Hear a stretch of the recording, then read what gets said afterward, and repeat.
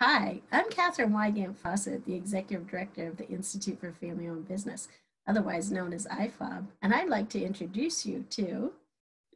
Hi, I'm Brooke Stewart, Director of Communications here at the IFOB. We're a nonprofit that helps family businesses succeed, and over 80% of businesses in Maine are family owned.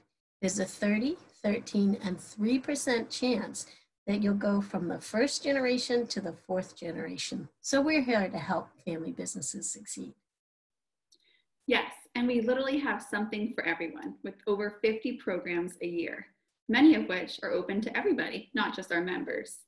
We have our virtual how-to series, and when we can meet again, we'll have our family business spotlights and our highlighted event, our annual Maine Family Business Awards.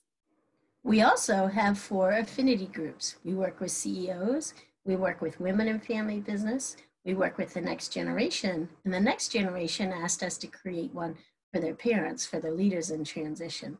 So we help all family businesses in all different aspects of their business. And these are challenging times. So our board and staff have decided to waive our family business membership fees from now till the end of the year so we can help these family businesses.